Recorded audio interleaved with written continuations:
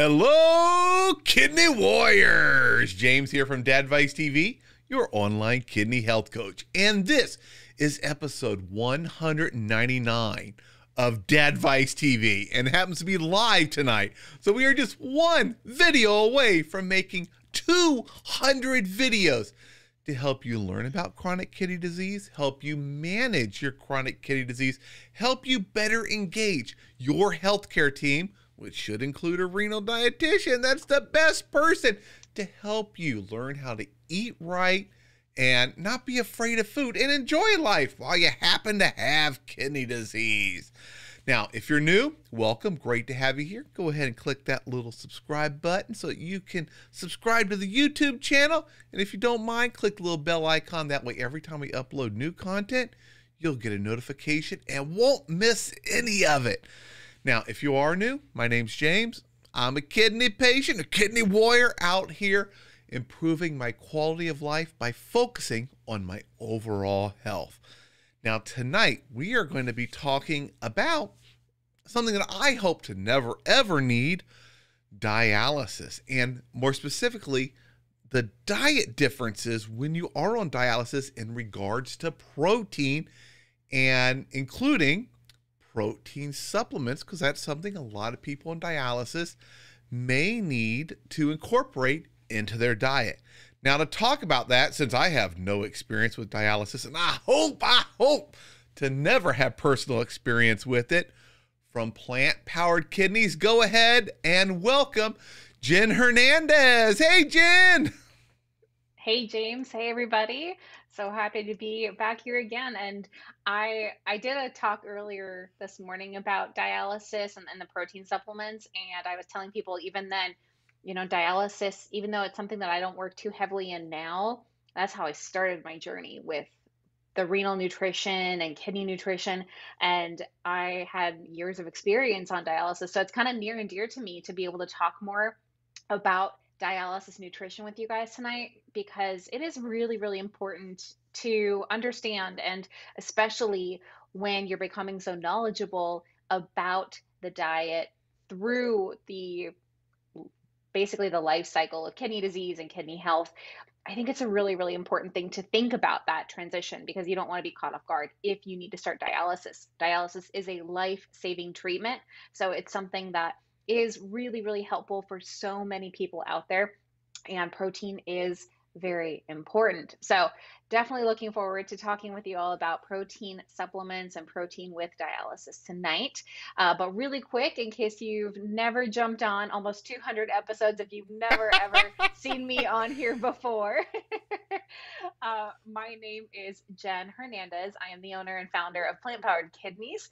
And Plant Powered Kidneys, we are a virtual nutrition service we work with patients, with clients privately and in our course online at plantpoweredkidneys.com. And we are renal dietitians that like to help people with a plant based diet. And the reason I say we is because, again, you guys, if you've watched me on here before, I've always been working by myself and I've been really, really busy, unable to take on more people but I've had somebody behind the scenes helping me. Her name is Shelby, and Shelby is a registered dietitian as well. And she is now taking private clients at Plant Powered Kidneys too. So she focuses on helping people with early stage kidney disease, and she really loves helping people with cardiovascular issues like high blood pressure, cardiovascular disease, cholesterol, things like that. So if that is something that you are concerned about, that you want help with, and if you're in the United States, you can apply right now to work with Shelby. She has a little bit, I think, a couple spots left to work with people, uh, but her schedule is filling up fast for sure. So if you'd like to work with her, you can go to plantpoweredkidneys.com and you can click just the very top banner. There's a link to learn more about Shelby and chat with her there. Uh, and then the other resource we have that is alive and well is our Plant Powered Kidneys Facebook group. I was actually just oh, yeah. while, while I was looking for the, the link to come on the call. I was answering some questions on the Facebook group, chatting there and helping people out. It's a really, really great group. Tons of great questions. I love the pictures and the support is absolutely just really, really heartwarming there. So uh, it is it is so good to have that group as well for some more support. Yep. Awesome, awesome, awesome. And we have someone special I see in the audience. I'm going to bring her thing up there. Some lady named Deborah. I've seen her on here a few Oh, times. that's my mom. Doesn't Hey, she look beautiful?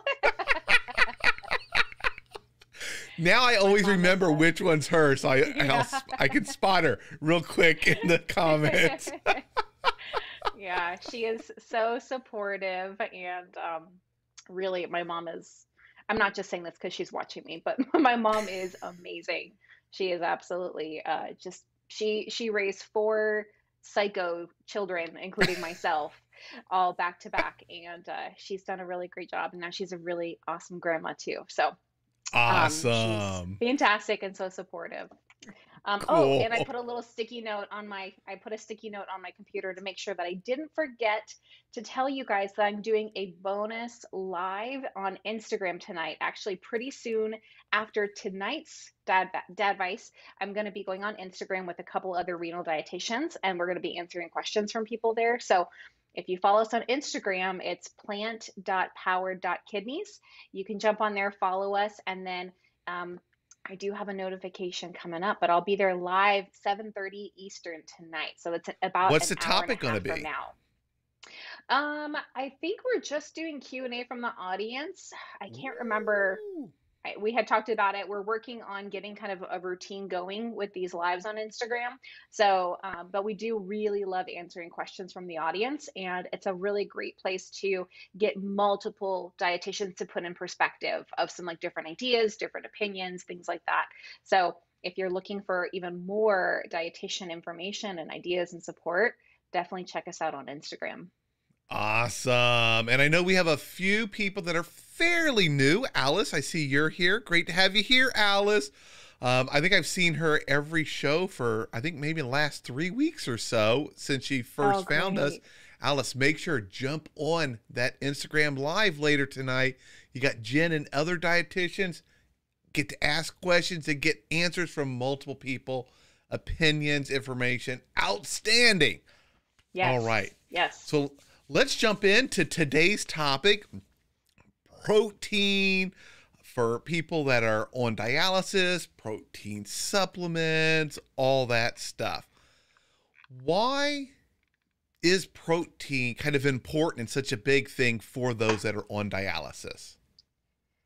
Well, first of all, if you're not aware of what dialysis is, this is a treatment that is intended for people with end stage kidney failure, and that's stage five GFR below 15. Uh, and this is something that somebody will usually start when they're not feeling good. They're nauseous, Mhm. they're vomiting, they have no appetite, they're losing weight. Their body is just not able to compensate because the kidney function is so declined. So they start dialysis, and this is a treatment that cleans the blood. It gets rid of toxins, it gets rid of the waste products just from our normal body maintenance and from what we eat so that we can continue living. And part of the, uh, I would say the side effect or, or just kind of something that comes from the dialysis treatment is that it does remove some of the protein when it's also Mhm. removing other things like the toxins and the waste. And this is this is just a side result of that. And if you guys, James, have you ever looked into like the history of dialysis or maybe Yes, it was some of the scary. nephrologists? Yeah. I, I, I actually um the, the the team over at Urban Health Outreach mm, Media. It's always hard to remember their mhm, their name. They do a lot about dialysis and transplants, and they did a whole thing about the history of dialysis and some of the challenges how they had to pick who got it. mhm. That was whew, some difficult decisions people had to make. But it's a Yeah. it's it's kind of it's kind of scary when you look into it. I mean, what the way I look at it, silver lining is we look at how far we've come. I mean, we're not still doing those types of treatments. It's really, really come far. And now we're talking more about the artificial kidney and all of these other options that are available. So I I just I'm astounded by how much it's grown. And and it's still they're still looking at ways to make it better. Um, but the reason I just bring it up is like protein is one of those side effects. It's not like how it used to be, but there is some protein that gets remo- removed from the dialysis Mhm. treatment. Therefore, uh, people on dialysis need to get that protein back into their body. And one of the things that we look at on their dialysis lab report is something called normalized protein catabolic rate, Whew. NPCR. Yes. They're always fun, right? All these abbreviations. I know all these words. Luckily, I don't need to learn and memorize all the dialysis ones at this point in time. Oh, that's a, that's a whole other door. Yeah. Yeah. So the NPCR, if you are on dialysis, you might have it on your dialysis lab report. So when I was a dialysis dietitian, every month I would pass out lab reports to all of my patients in the clinic, and one of those values on the lab report was NPCR or EN, estimated protein uh, ratio. So when you see that number, it's basically getting an idea of how much protein you're eating based off of the waste products from that protein. So it's saying, okay, this is how much your body got rid of. So we're going to kind of backtrack and estimate this is about how much protein you're eating. Mm, And in general, a person on dialysis should be aiming anywhere from 1 to like 1.4 grams of protein per kilogram of body weight. And this right here is the first sign of how it's very different from the CKD diet. We talked about low protein being under zero point 0.8. Yeah, this is really flipping it on its head. So now we're looking at this higher amount of protein that we're trying to aim for from the waist and and trying to get more. So that's why if if you're on dialysis here, you say, yeah, I hear this all the time. You know, they're always encouraging more protein. And it does depend. I see that. I saw that question that kind of popped up there. Yes, and I'm going to post your numbers in there from the blog, yeah, which has everything we're talking about, everybody. I forgot to mention at the beginning. There's a blog on plantpoweredkidneys.com with all the numbers and everything we'll be talking about tonight. And there's a link to it in the description. So when we're done, you can pop back over there and get even more information. There's so much information, guys. um, so for hemodialysis, it's a little bit less. It's about 1.1 to 1.2. Uh, in the United States, every dialysis clinic has a dietitian. So you can speak with your dietitian to say, how much protein do I need to be eating? What is my protein goal that I should be getting in for the day? For hemodialysis, around 1 to 1.2. For peritoneal dialysis, that's the kind that you do at home from the catheter in your in your belly that one pulls out a little bit more protein, so we need to put more in. So they're closer to the 1.4 protein area. So this is again very individualized, and there's a lot of different, just like CKD, with a lot of other health situations and conditions that are going on. It's just the same, if not even more important to look at other factors related to the diet. So these are just general guidelines, but I really hope that you guys can speak with your dietitian or your nephrologist to get a more personalized idea of what you should be aiming for when it comes to protein. And even with the protein supplements, they are very often recommended because of this high protein goal. It's very hard for somebody on dialysis to get that much protein in, um, especially when like low appetite or appetite changes is one of the most common side effects with dialysis. It's very difficult to eat higher protein. I know we've talked about the traditional American diet, tons and tons of protein, but with that that appetite change, that's really what makes it hard. Plus the schedule, dialysis schedule is also Mhm. pretty tough. Now, if I'm not eating enough protein, does that impact my dialysis or is that just like my muscle mass and things like that?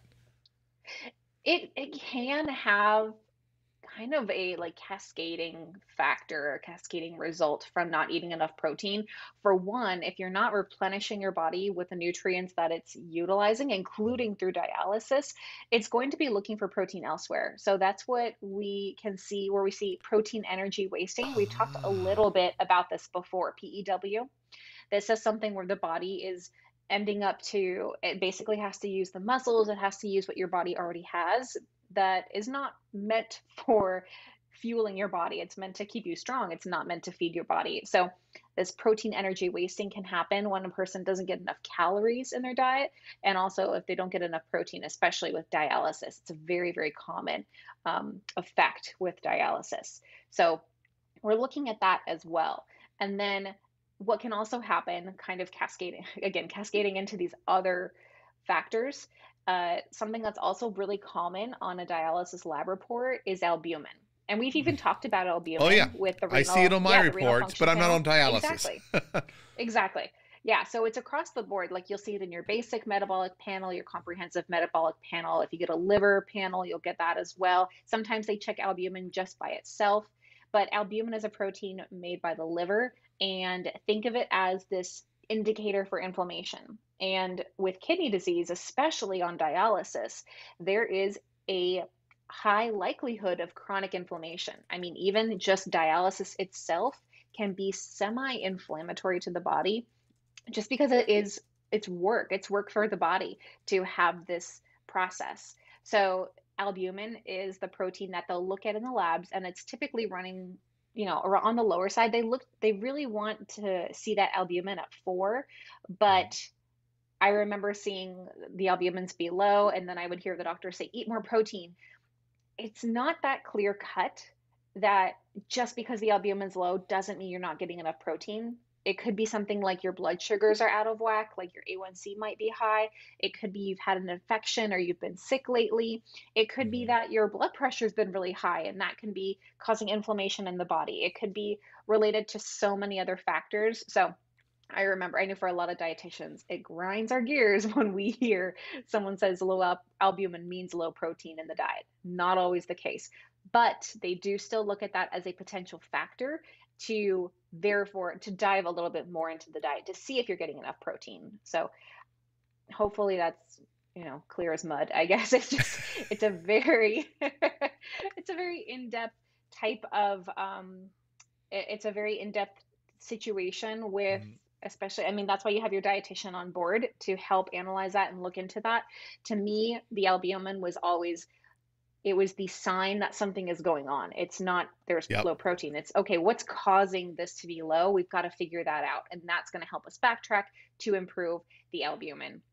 So uh, that's another factor that we look at for protein in the diet which i'll i'll jump a little bit ahead into some of the into some of the talk for tonight but there is in a lot of dialysis clinics there's a program called the oral nutrition supplement program ons program.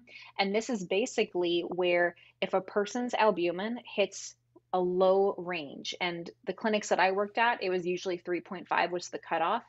If a person's albumin was 3.5 or lower, they qualified to get a protein supplement during their dialysis treatment, and it wouldn't be of Ah. cost to the person on dialysis.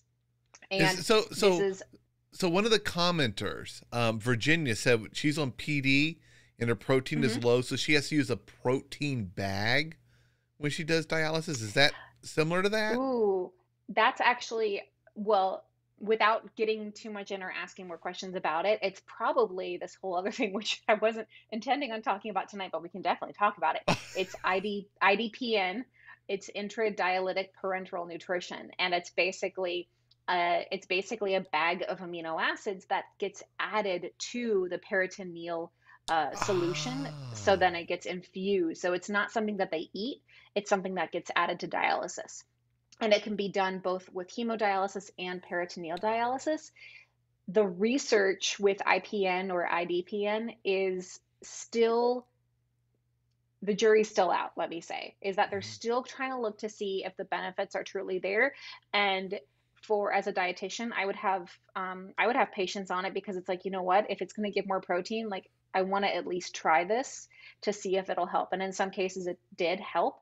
People's appetites would return, their protein levels would get better. In some cases, it didn't. It's really individualized but I think it's great to see that there's other dietitians that are like, hey, let's try this. Like, let's, we've got to look at all the options that we have, and that can be a really great option. So, that's a type of protein supplement that is a prescription. You can't get it Mm. at the pharmacy or anything. Your doctor has to order it. It basically comes through this pharmacy um, that's connected with the different dialysis companies where they help with providing those resources. Yeah. So if I'm in center, is it like a pill when they give me a supplement, or is it something that they add into the system and the protein comes in? It's However it's that works. I don't want to get into details of dialysis. no, no, no. It's it's not uh it's not a medical it's it's not a medicine. It's actually a protein shake or a protein bar um, Ah. that is given during treatment. So there's a few different ones, and on the blog I do have a couple of the most common ones listed. The number one, I think, most common one is Nepro. that's Yes. utilized a lot. So Nepro, and you'll even see the picture on the carton, it says for people on dialysis. It's very, very clear. If you're on dialysis, this is for you. If you're not on dialysis, this is not for you. And uh, Nepro is a pretty, I mean, it's a pretty good option as far as it's high in calories, it's high in protein, it's a grab and go shake. So it kind of checks off a lot of those boxes. And so if you qualify for ONS, uh, Nepro may be the drink that you're offered. There's another one called Novasource, and it's th- basically the same thing made from a different Mhm. company. Um, but again, checks off all those boxes and it's ready made. There are other types of protein supplements on ONS that are little, they look like, it almost looks like, um, like cold medicine or something. It's Yep. it's a nice bright color, but it's a little it's that little shot that gives you like 16, I think it was 16 grams of protein, 15 grams of protein. It's been a few years now. Um, but this little drink will give you uh literally a shot of protein and it's easily digestible. So that was another really common one. And I also worked in another dialysis clinic where we gave protein bars. So one of the protein bars that we used was the Zone Perfect protein Mhm. bars. And that would be another option. So Those actually taste pretty good. yeah, yeah, it's it's they're not they're not always bad. And sometimes it was nice when we would try to get different flavors so that you weren't getting the same thing all the time. Yeah. So I would try to help, especially with my patients, I would try to do like the strawberry or the cinnamon ones, like not the chocolate or peanut butter, because that those flavors get so old after a Yeah. while. Um, so something that's a little bit lighter and, and easier to eat because you're eating it three times a week, or for peritoneal dialysis, you're eating it six, seven days a week. And to have something like that in your routine that you're eating all the time can get pretty tough.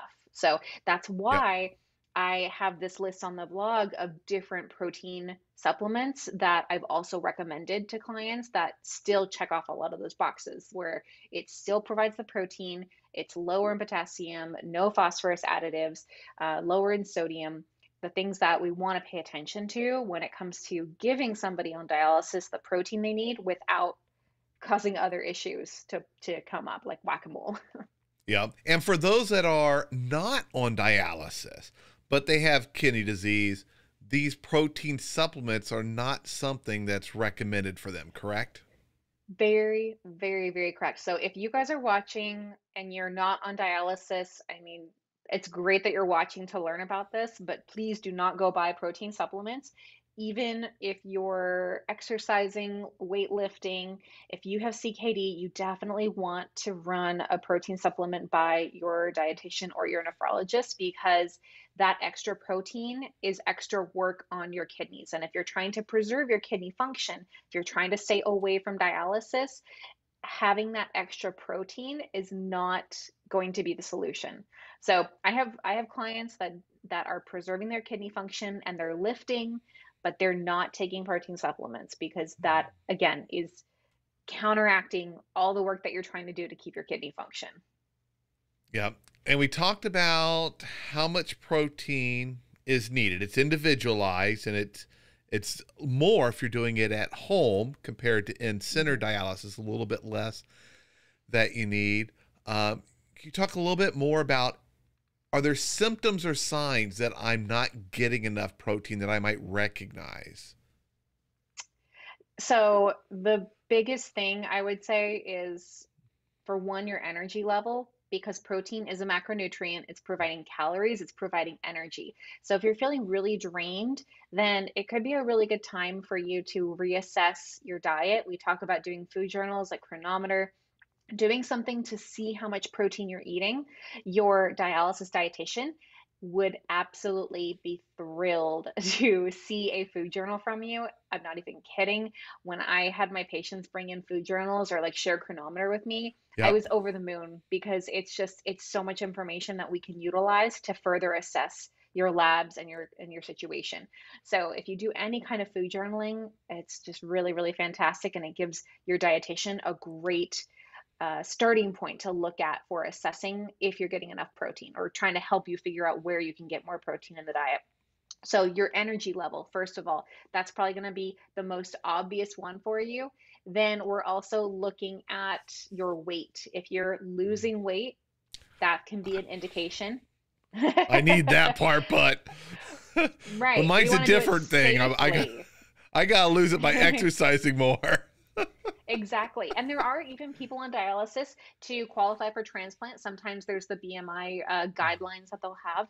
In those cases, you might want to be losing weight, but you want to lose weight in a really safe and healthy manner. It's not going to be helpful for you to lose your protein, your your lean body mass, because that's not going to be sustaining and your body is basically just kind of tearing at itself to try to get the protein that it needs. So you want to pay attention to that as well. Look at your weight trends when you're on dialysis. Your fluid balance is really important because they're weighing you before and after every treatment. So you want to get a good idea of what your dry weight is. You want to see what your fluid and some of these terms I'm going to put out here are really like dialysis people. You're going to know what I'm talking about. Everyone else, like this is probably like a whole nother talk another day getting into more about this. But we're looking at your weight balance. We're looking at what your dry weight is. We're looking at how much fluids you're bringing in to assess if that's the right amount.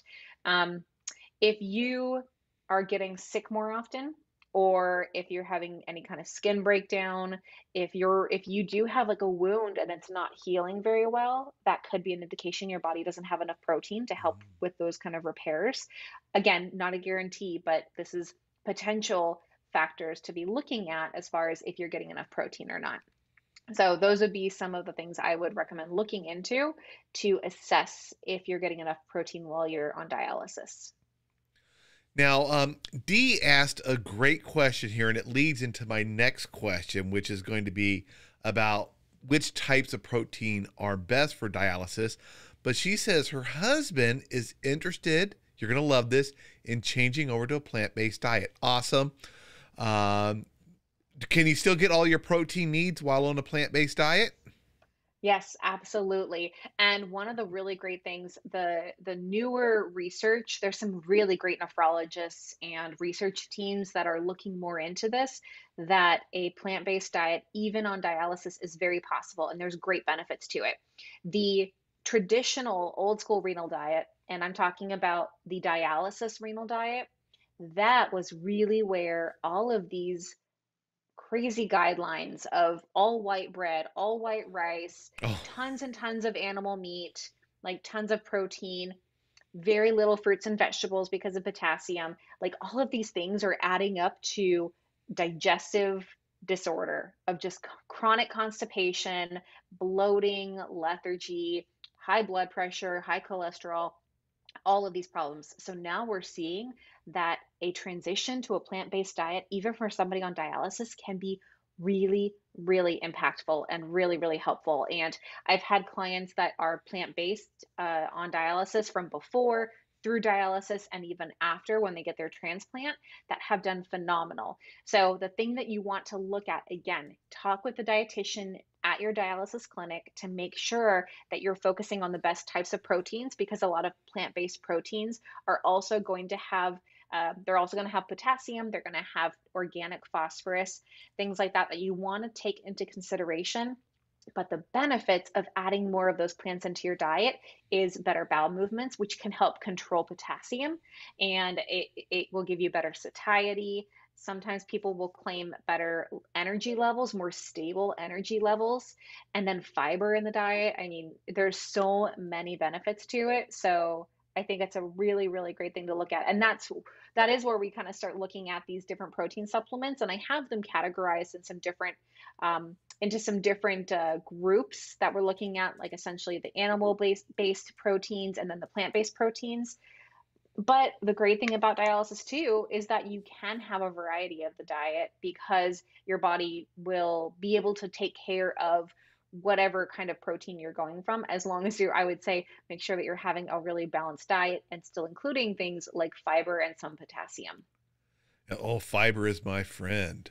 Yeah. We got to do a show all about fiber. Fiber is like magic. Um, Mhm. We need it in our diet. We don't get enough. Um, as a matter of fact, my doctors are have told me, James, you're not getting enough fiber. I looked at my log. For some reason, I don't know what happened. I thought I only needed 25 grams of fiber a day, off by like 10 grams. So they're like, "No, Yeah. we're gonna get you, we're gonna ramp you back up on a higher fiber diet, and then after a while, get you back where you should be. but we There need to do a show Yeah. about fiber. There's, it's like magic, and it's in all It the really good is. food. Yes, yes, it is so so good for us. Now, what types of protein are best for those that are on dialysis? So there was this term, and I've brought it up to you recently in the past couple of weeks, James, because you guys, I mean, you guys know a lot of this month we've been talking about protein in various ways, including tonight. So there's this term that we used to use called high biological value protein. Mm-hmm. And this is basically meaning this is a, a source of protein that will give the body enough amino acids for the body that it needs to use for all the things that our body uses amino acids and protein for. What we're seeing, what we're focusing on more now is another term called, and I have to look at it to remember. It's a long, it's a long acronym. I, I see it. Boy, it's a long one.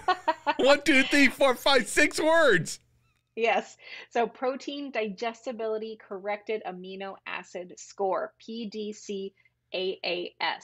So this is kind of a newer term. Well, I don't even want to say newer because I know it's been around for a while, but it's just we've been using high biological value protein as the um, that's been the term we've been using. So we're like, no, you know that that's not long enough of a term. Let's use this one. so we're gonna do PDCAAS basically what this is measuring is the quality and the digestibility of a protein source after it's gone through like the cooking process or whatever like how we would put it into our bodies so Oh, they that that's at- actually good because sometimes we cook things and we change it. There's a chemical reaction. Exactly, exactly. Ah. And there's some losses in food when you cook things down that you won't have the same kind of nutrients. And that's why looking at nutrition information, example for online, if you looked at four ounces of red meat, well, is it cooked or is it raw? Because it's going to give you very different number or very different values.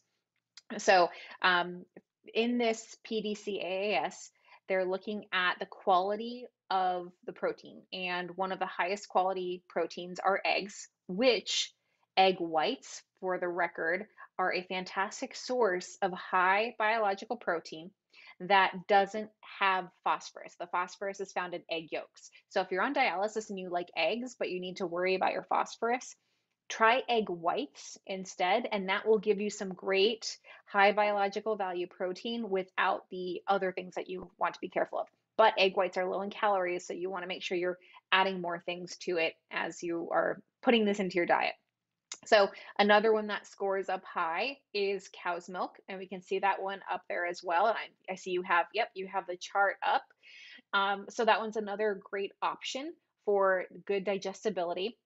The beef products are going to be showing as still on the higher range, um, but there's a little bit lower protein efficiency ratio. There's a little bit lower amino acid score. This one is really neck and neck with soy. And I vote more on soy over beef because we know that beef, red meat, has some negative connotations, some negative issues related to red meat and our, our health. So I would say 100% if you're going to choose one or the other. I'm not saying they're equal, they're very, very different, but nutritionally, soy would definitely win in this situation. So I would say soy is a great thing to include as a lean protein option in your diet. Then finally, there's wheat, and they were looking at the protein in wheat. And I was just talking with some people in our Facebook group tonight about uh, seitan, or well, it's S E I T A N, and that is a basically a protein substitute made from vital wheat gluten. So it is a high protein food. Wheat does have protein in it. So, again, when you're thinking you have to have animal products to get your protein in, that's not the case. Other sources do have protein in it, including wheat, as well as other like soy, soy products, even our legumes and uh, lentils and nuts and seeds. All these things provide um, protein for the diet, which is why I'm such a big advocate for somebody on dialysis wanting to follow a more plant based diet, that they can get the protein that they need. You just really want to work with your healthcare team about it so that you do it in a really smart and safe way. Mm-hmm. Awesome. Um,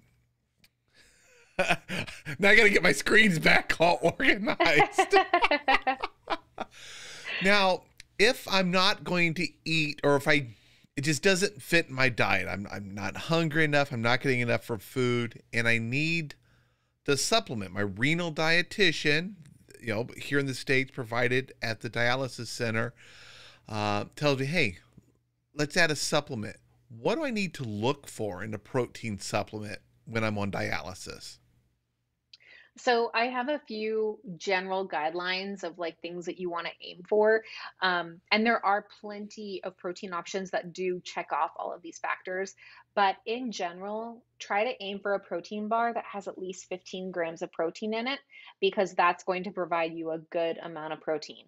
There's a lot of um, protein bars out there that have like five or eight grams of protein in there. And while that's helpful, many times they have a lot of other things like sodium, potassium, phosphorus that don't really the pros and cons aren't, aren't, aren't really weighing out the way you want them to. You need to get the bang try for the buck. exactly, exactly. That's a great way to put it. so looking for one with at least 15 grams of protein, and a lot of the examples that I have are definitely 15 plus. Um, that would be ideal. Some of them, 12 to 15, can be okay as well. Um, it's going to be different for everybody. And there are some that are in that teen range that I would recommend, especially for my patients that were just like, I just can't chew through a protein. If you've ever had a typical protein bar, many of them are really, really dense, really, really chewy, super, super filling, and kind of hard to get through. So, in some cases, I would say, okay, let's try with one that's a little bit lower in protein just to give you something. And that can be really helpful. It's like, it's better than nothing. So, the one example that always comes to the top of my head is one of my favorite protein bars that I've personally had and recommended before, which is Power Crunch. They're in that lower protein range, but it's like the um, you know those like sugar wafer cookies, the the Oh my like bar goodness. looking ones. You know what I'm Yes. talking Oh. I Yeah. love those things. Oh. Yeah, so they're they're kind of like those cookies. So they're really, really light. I would get them from my grandma uh, when when she needed some more protein and she loved chocolate. So I would get her the chocolate Power Crunch bars. Um, but that that's a brand that's a little bit lower on the protein, but it still fit into a lot of my patients' diets, and it was a lot easier to eat. So again, ideally 15 plus grams of protein. For the potassium, you probably want to look at having one that's not crazy high in potassium, and many of them are not very high in potassium, but try to cap it at 250 milligrams for potassium, especially if you're around that 15 gram range. For sodium, again, this is a um, more processed food, so Yeah. that's where you're going to be finding salt. So again, we're looking at balancing these trade-offs. So I want you to get the protein in and tr- keep the sodium under 300 milligrams. Some of them they add the salt to change the uh, the flavor or as a preservative. So cap it at 300 milligrams. If it's over that, it's it's going to be a bit too much. But in many cases, a protein bar is basically replacing at least a part of a meal or something. So I don't expect it to be sodium free because that's just not realistic for what you're getting. The 300 finally- milligrams sounds like a lot in a bar. Woo. hmm hmm And that's like that's the cap for me. That's the cap. Mhm. Um, and then finally, no added phosphates. So anything in the ingredient list that has PHOS, that is a that is something you definitely don't want to have, especially on dialysis, because dialysis it is very very hard to control phosphorus on dialysis. Most people take phosphorus binders to help with their phosphorus management. So I'm not about to recommend something that has an additive that's going to uh, increase that phosphorus number on your lab report. And I just noticed you have this awesome picture about this. What to There look for? There we go. Yeah. Yeah. So we have a few little graphics on there to help explain some of the things that we're looking at here. So yeah, at least 15 grams of protein, less than 250 milligrams potassium, keep it under 300 milligrams sodium, and make sure there's no added phosphates. And this is whatever kind of protein supplement you're looking at, either a bar, a powder, something ready to drink. Although ready to drink is very very hard to not have added phosphates even the ones that are like organic and you know we're so clean or whatever they still have added phosphates so the ones that are dialysis specific they know to be careful with phosphates so those ones are generally safe Yep. All righty. I was trying to play around with something else on this. um, now, what are some protein supplement options? So the first group that we look at is the whey protein, whey protein powders or whey protein bars. This is one of the most common ones. And whey protein is the protein that comes from milk. So this is an animal protein, but as we saw earlier, that cow's milk is a really high biological, the high PDC AAS value. It is a great source for protein that your body needs to use. So if you're looking at the whey protein, I'll have to look at my specific ones for for what I've been researching. Um, so Optimum Gold or Optimum Nutrition. Oh, usually, usually you'll see it like ON, a really big ON on their protein powder. The Gold Standard protein powder. That was a really um, that one's really easy to find. You can find it at drugstores. You can find it on Amazon. You can find it at Walmart. Um, that one's really good. And their vanilla protein powder has 24 grams of protein per scoop, and it's only 150 milligrams of potassium. So that one's a really good balance. Um, another one is Body Fortress whey protein. And that one that one has 30 grams of protein per scoop with only 180 milligrams potassium. So um, that one is a good. Pure Protein is another great brand that has 25 grams of protein per scoop.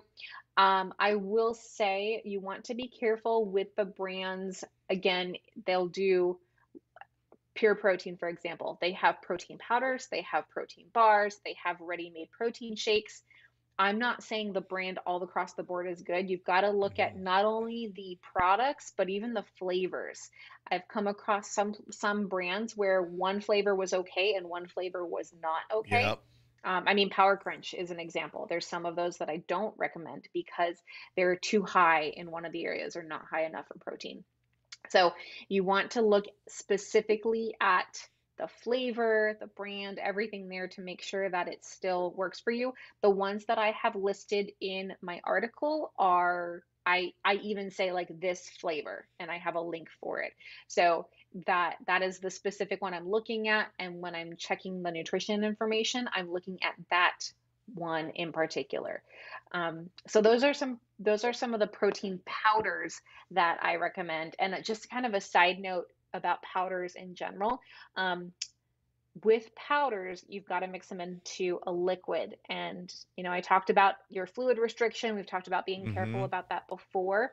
So if you're on a fluid restriction and you're having a hard time with your fluid restriction, a protein powder might not be the best bet for you because, again, you're giving yourself more protein, but then you're adding in more fluids. So we're playing whack a mole where we're taking care of this problem, but another one pops up.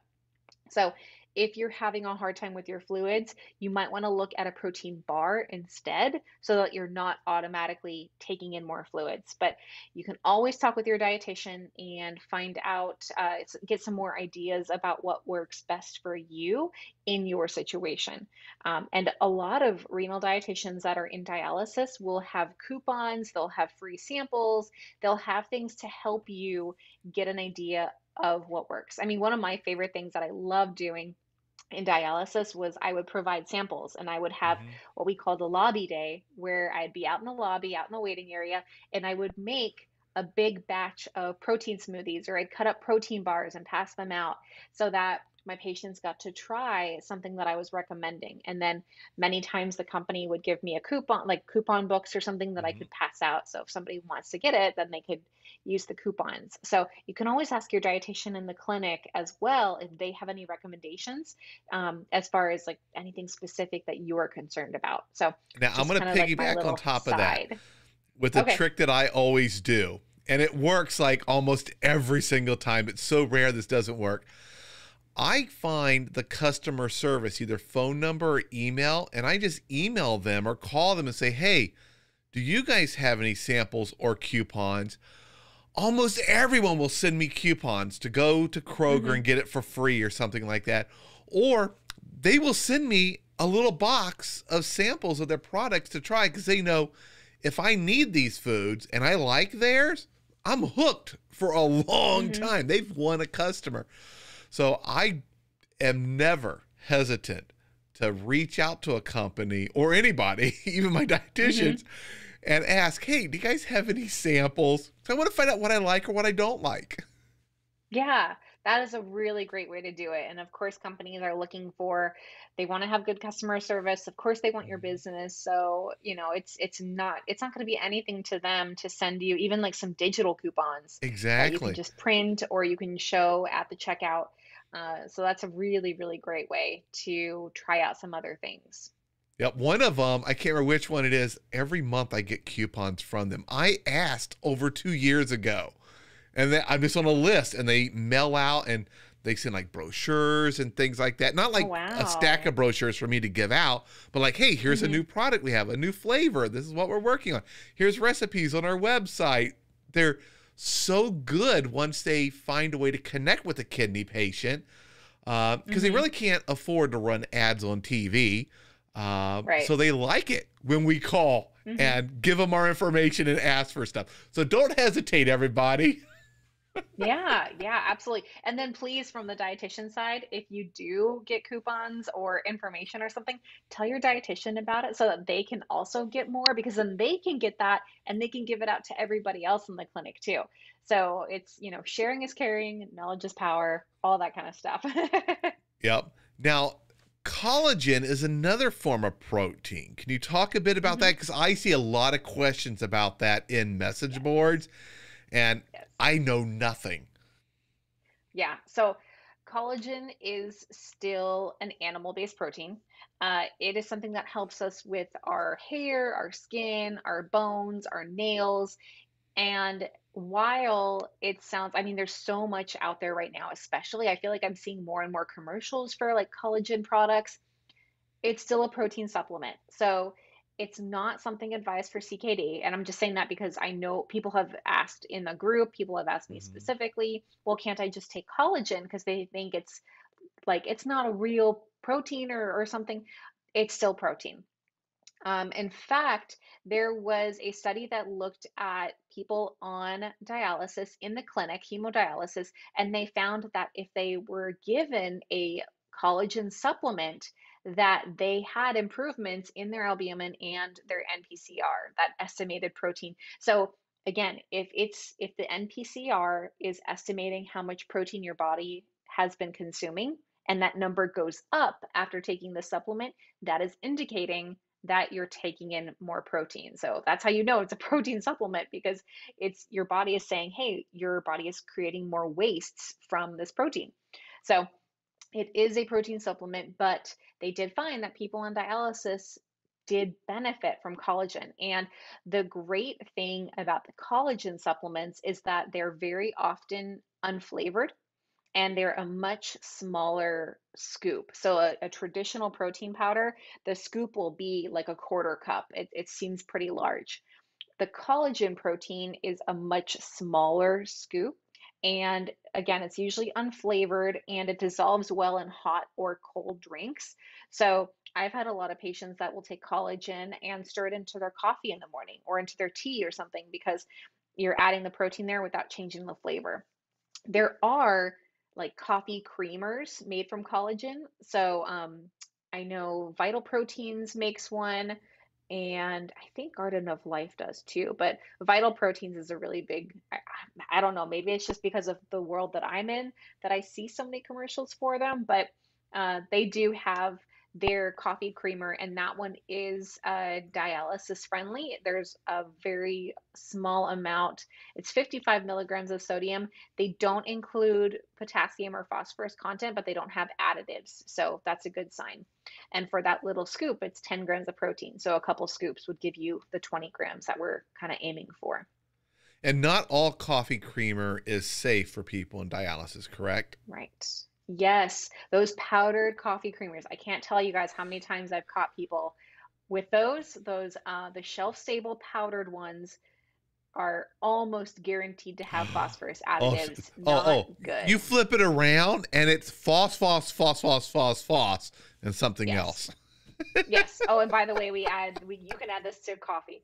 Yeah, it's very very notorious and I mean look for an alternative. We have we did a whole other we did a whole other video talking about coffee with CKD. I have a blog talking about coffee and coffee creamers and the ones that are good.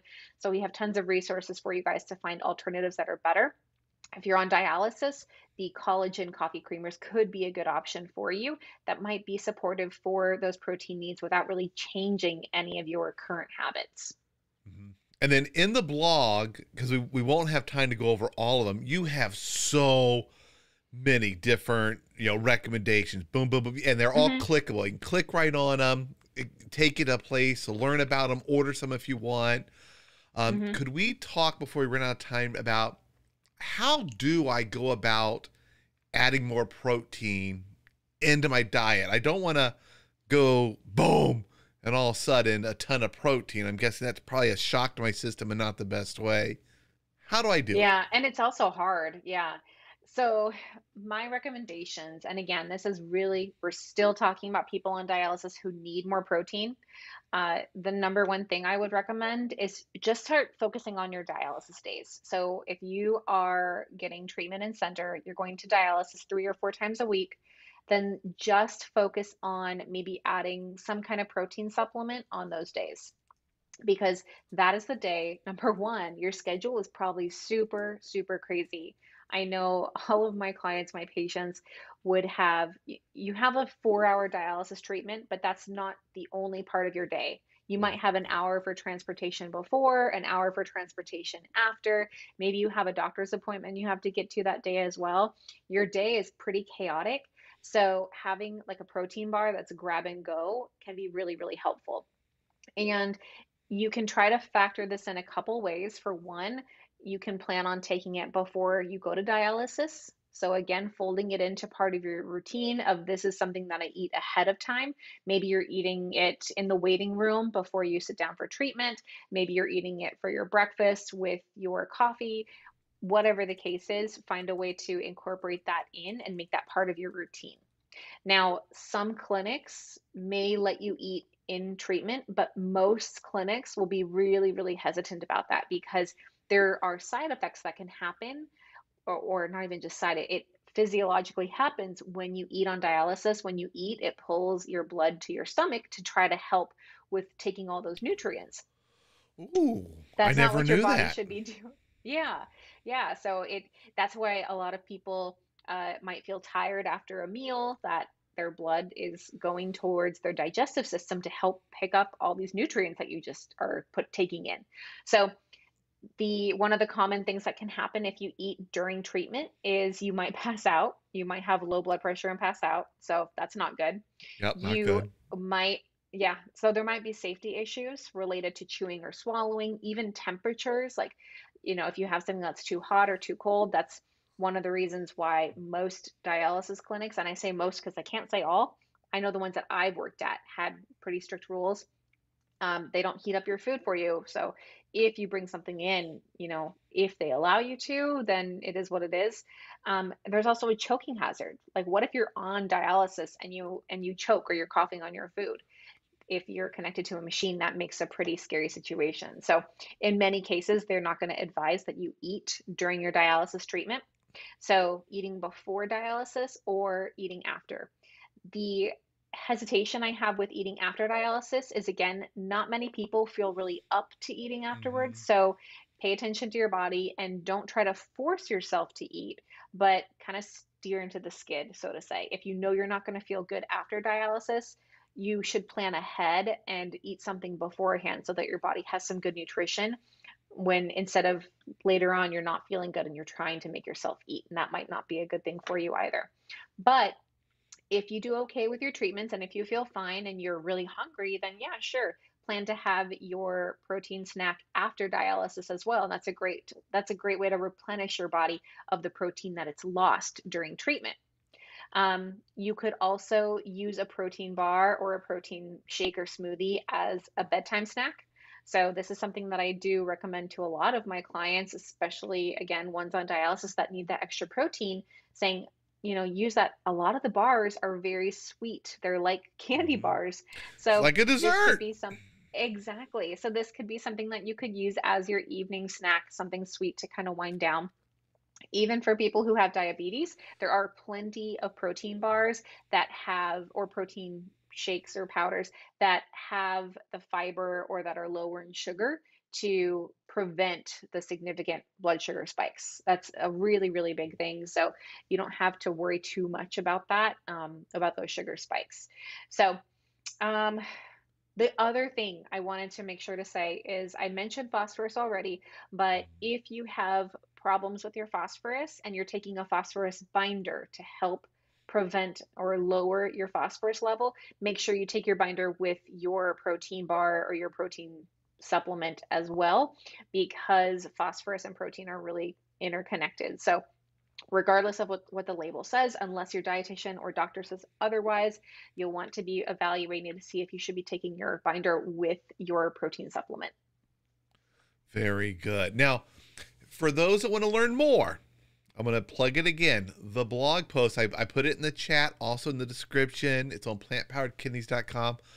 So much great information on here. There's charts, there's great images of of examples, recommendations of bars and things like that.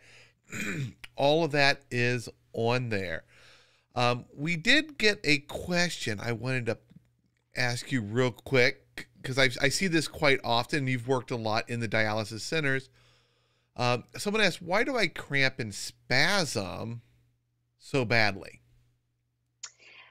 Yeah, that is a very common situation for a lot of people on dialysis cramping can be caused by a fluid imbalance.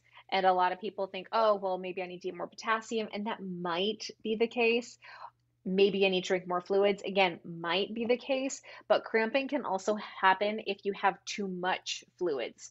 So if you bring in more than two liters or two kilos of fluid to your treatments, depending on your body size, even two kilos might be too much what happens is essentially the fluids getting pulled through your body and also pulling through your muscles and can cause that cramping. So, you want to be really, really careful with your fluids and talk with your dialysis team about what's causing it.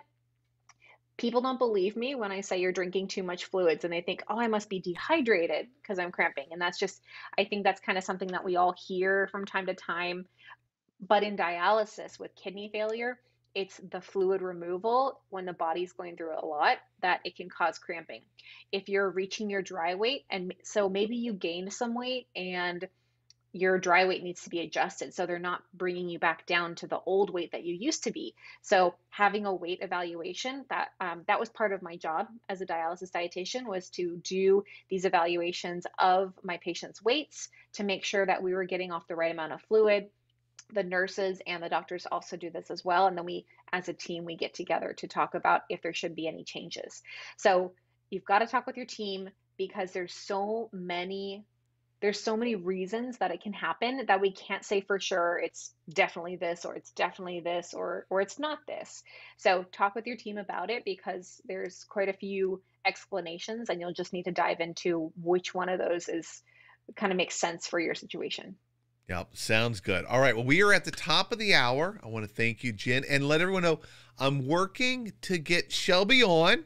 Maybe next week we'll get her on here. Uh, I know she's excited. She's yes. working with people already, has availability to work some more people. So, plantpoweredkidneys.com if you don't have a dietitian right now. Number one thing every kidney patient should do, in my opinion, is at least a few times work with a renal dietitian. So you're not afraid to eat food.